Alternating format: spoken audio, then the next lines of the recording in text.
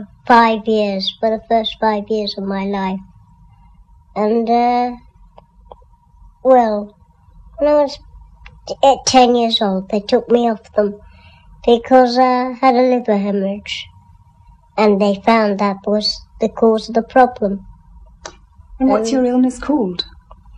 Fanconi's anemia. It's something to do, it's a very rare bone marrow disease. And did Mummy tell you about it? Yes, she did, and she she um helped me to um get used to my problems and helped me gave, gave me confidence and when I was down and uh, I just went on from there. When you thought that you were going to die, Garvin, were you frightened? At first I was very frightened, yes, I must admit. It was a very frightening thing. How do you feel about it now?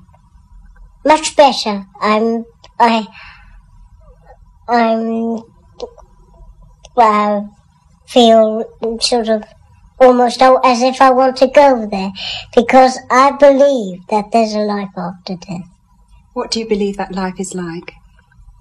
I believe that life to be um, joyful, happy, no pain, complete suffering over and done with, just complete joy and happiness.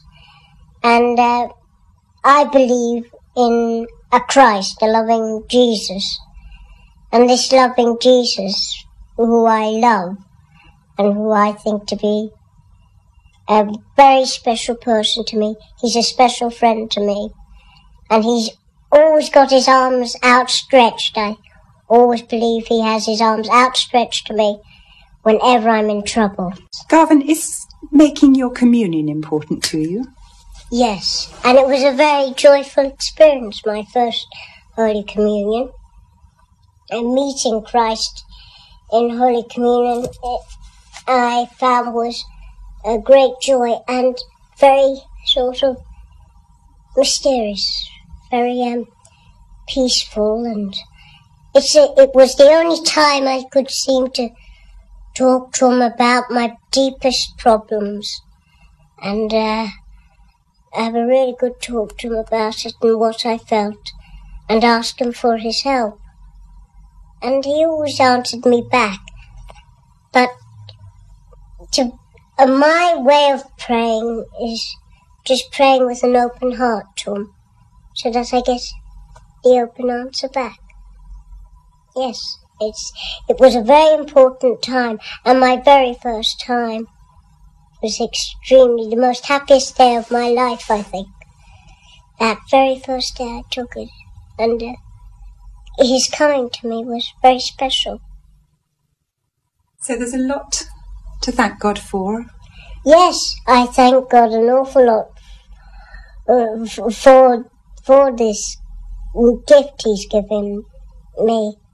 I mean, it's it's very special because it's actually God and man sitting at table, sharing the banquet, sharing his gift, his only his gift, his most precious gift, his son, in the uh, Holy Eucharist, and it is a very special gift, and I always try and get down for that gift, and I always thank him for it every day. What do you think happens to your body when you die? I will leave it behind. This is only a reflection. This is only something, a sort of tag to say, this is Garvin. This is me. So that we can recognize you. Yes. And then the real me, that's uh, when I die, that reflection will be faded, left behind. And the real me, that that's in that inner self me, will be out of that reflection and will go up to God. And uh, it, I always believe that, that it's just like heaven explaining that to, as God says to you, shut your eyes and that and you just go to sleep. And then the next minute you open your eyes and you find you're in a a lovely place, just a so beautiful that you want to stay there and be with Jesus forever. And to, and all my friends, or some, most of my friends who I knew down on this earth, uh, I believe have gone to God. And when I, and I hope that, that, when, that when my time will come, I shall see them and go, go up and say hello to whoever I lost. Like, um, I never saw my grandma, Grandma Doherty.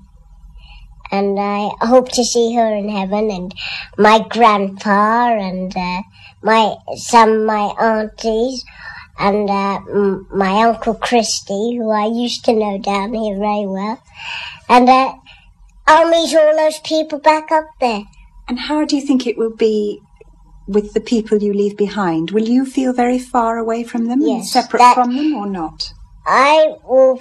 It's very difficult, but um, I believe that Christ will look after my family, and whatever needs they need, I kn- I I believe He will provide for them, and I shall always look down on them if I if I go before them, and I shall always look down on them and always be there.